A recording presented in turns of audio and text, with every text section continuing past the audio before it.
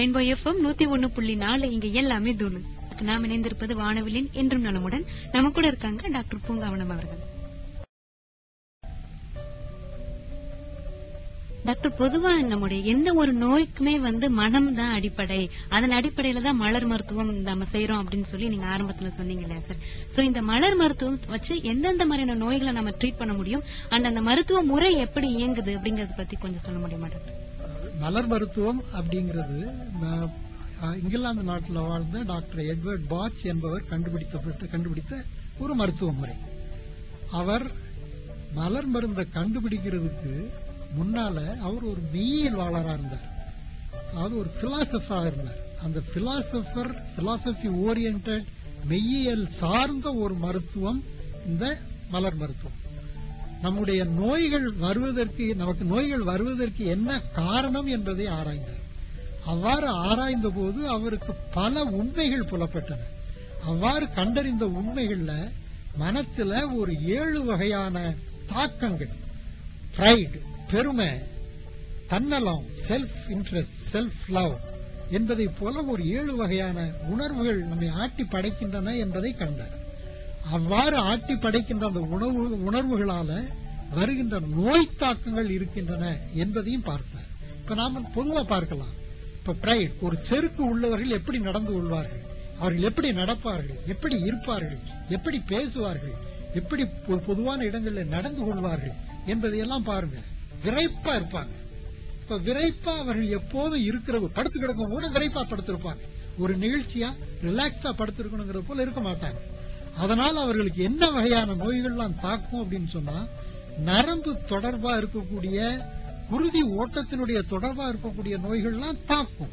எனவே அந்த பிரைட் என்பதனால செருக்கு என்பதனால அது அப்படியே உடம்புக்கு மாறுகிற போது பல்வேறு வகையான தொல்லைகளாக மாறிவிடுகின்றன. நோய் தொல்லைகளாக மாறிவிடுகின்றன. அந்த நோய் தொல்லைகளை கட்டுப்படுத்துவதற்கு உடல் அளவிலே மருந்தை கொடுத்தால் மட்டும் போதாது. அது வாழ்நாள் பூரா சாப்பிட்டு கொண்டே இருக்கணும். அல்லது சாப்பிட சாப்பிட அந்த நோய் தொல்லை பெருகிக் கொண்டே இருக்கும் அந்த மண்ணை விட முடியாது என்பதை போல தொல்லை எல்லாம் இருக்கும். இதுக்கு அடிப்படையா இருக்கக்கூடிய அந்த செருக்கு என்ற அந்த உணர்வு இந்த பிரைட் என்ற உணர்வு அதை மலர் மருந்தால மாற்றணும் அல்லது நாமவே மாற்றிக்கொள்ளணும். அவ்வாறு மாற்றிக்கொள்ளுகிற போது முழுமையாக இந்த நோயையே நோய் தாக்கத்தையே மாற்றிக்கொள்ள முடியும் என்பதைத்தான் அந்த பெருமகனார் அவ்வாறு சொல்லியிருக்கிறார். சோ இப்போ ஒரு நோய்க்கான அடிப்படை காரணமான அந்த மன உணர்வை நம்ம மாற்றுறதன் மூலமா அந்த நோயை குணப்படுத்துறோம் இல்லையா சார் சோ இதனால பின்னாடி அந்த நோய் தாக்கத்துல இருந்து நம்ம நம்மள காத்துக்கக்கூடிய ஒரு பாசிட்டிவ் சைடும் இந்த மலர் மருத்துவ மருத்துவத்துக்கு இருக்கு இல்லைங்களா? இந்த மன மருத்துவம் அப்படிங்கிறது அவருடைய ஹீல் தை செல்ஃப் என்ற ஒரு நூல். நம்மை நாமே குணமாக்கிக் கொள்வோம் என்ற ஒரு நூல்ல அவர் வந்து இதை பற்றி விளக்கமா சொல்லி இருக்கிறார் நாம வந்து ஒரு தப்பு செய்யறோம். தப்பு செய்யும் போது அந்த தப்பை திருத்திக் கொள்வதற்கு என்ன செய்கிறோம் என்று சொன்னா ஒரு நோட்டு புத்தகத்தை எடுத்து வைத்துக் கொண்டு நான் தப்பு செய்ய மாட்டேன் தப்பு செய்ய மாட்டேன் தப்பு செய்ய மாட்டேன் என்று ஆயிரம் தடவை நாம் வந்து எழுத முடியும். அவ்வாறு எழுதுகின்ற போது ஒரு இதா இருக்கும். தப்பு செய்வதற்காக தண்டனையை பெறலாம். அது இன்னொரு வகையா இருக்கும். இந்த தப்பு செய்து விட்டோம் என்பதற்காக ஒரு மாற்று அதற்கு ஒரு பிராயச்சித்தம் அதற்கு ஒரு கழுவாய் நாம வந்து தேடலாம். இதனால என்ன நடக்கும் அப்படின்னு சொன்னா அந்த ஆயிரம் தடவை நம்ம செய்ய மாட்டேன் செய்ய மாட்டேன் செய்ய மாட்டேன் எழுதும் போதெல்லாம் என்ன நம்முடைய மனத்தில் நிறைந்திருக்கிறதுன்னு சொன்னா செய்வ அந்த தப்பு நம்மிடத்துல இருக்கிறது இருக்கிறது இருக்கிறது என்பதுதான் நிறைந்திருக்கும். எனவே அங்கே அந்த அங்க அந்த நிலை வந்து அங்கிருந்து மாறுவதில்லை.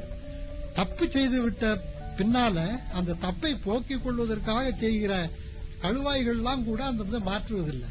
அந்த தப்புக்கு எதிரான ஒன்றை அதாவது அவர் ரொம்ப எளிமையா சொல்லி விடுவார் டெவலப் தி அப்போசிட் வெர்ச்சு தீமைக்கு எதிரான நன்மையை பெருக்க வேண்டும்.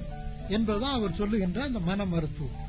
அப்படி அந்த தீமைக்கு எதிரான நன்மையை பெருக்குகிற போது இந்த தீமை தானாகவே காணாமல் போயிடும் அப்படி காணாமல் போனதற்கு பின்னால நாம வந்து எழுச்சி பெற்ற நல்ல உணர்வு பெற்ற மாந்தர்களா வாழுகிறோம்.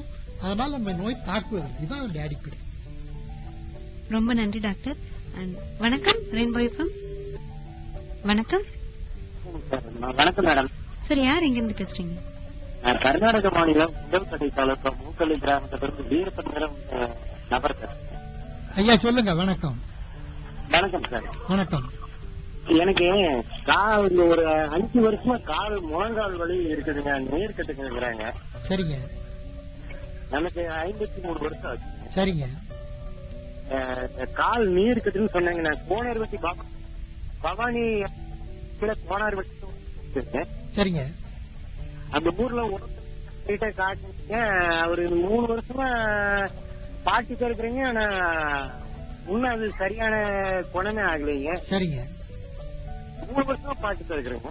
அதாவது நீர்க்கட்டு என்று சொன்னா முழங்காலுல நீர் சேர்ந்து இருக்கிறது என்பதை குறிக்கிறீங்களா? அப்படி. முழங்கால்ல நீர் சேர்ந்து அதனால வாத நோயா அது மாறுகிறது அப்படிங்கிறது ஒரு நிலையா இருக்கும். அது வந்து வாதம் அப்படிங்கிற சொல்ல நோயா இருக்கும். அந்த நோய்க்கு ஹோமியோபதி மருத்துவத்துல அந்த நோய் பெரும்பாலும் எப்படி இருக்கும் அப்படின்னு சொன்னாக்க நீங்க மழையில நனைஞ்சீங்கன்னா ஈரப்பதத்துல நடந்தீங்கன்னா தண்ணீர்ல வேலை செஞ்சீங்கன்னா அந்த நோய் வந்து பெருகும். வலி வந்து பெருகும். அந்த நமக்கு அப்- நமக்கு அப்படி இல்லைங்க. எப்பவுமே நார்மலா இருந்துட்டே இருக்குங்க. எப்பவுமே நார்மலா இருந்துட்டே இருக்குதுங்க. அதாவது எப்பவுமே அந்த வலி இருந்துகிட்டு இருக்குதா? இருந்துட்டு இருக்குதுங்க. அந்த மாத்திரை அவரு ஹோமியோபதி மாத்திரை சாப்பிட்டுங்கன்னா டெய்லி ஒரு வேலை சாப்பிட்டுங்கன்னா மாத்திரை சாப்பிட்டுங்கன்னா இது நல்லா இருக்குங்க. இருபத்தி நாலு மணி நேரம் வலி இருக்காதுங்க. சரி. அப்புறம் புன மக்கியாவது வலி வருங்க அதாவது மருந்து சாப்பிடும்போது அந்த வலி குறையுது திரும்பவும் அந்த வலி வருது அப்படின்னு சொல்லி சொல்றீங்க. ஒருவேளை நீங்க வந்து அந்த வலி எப்போது முதல் முதல்ல வந்தது அப்படிங்கறத நீ அந்த எட்டியாலஜின்னு சொல்லுவோம். நோய் தொடக்கம் என்று சொல்லுவோம். அந்த நோய் தொடக்கம் வந்து எப்படி சரியா வந்தது அப்படிங்கறத நீங்க அந்த மருத்துவருக்கு நன்றாக சொன்னீங்கன்னு சொன்னா அதற்குரிய மருந்தை கொடுக்கும்போது அந்த வலி அப்படிங்கிறது குறையிறது மட்டும் இல்லாம நீங்கிறதுக்கும் வாய்ப்பு இருக்கும்.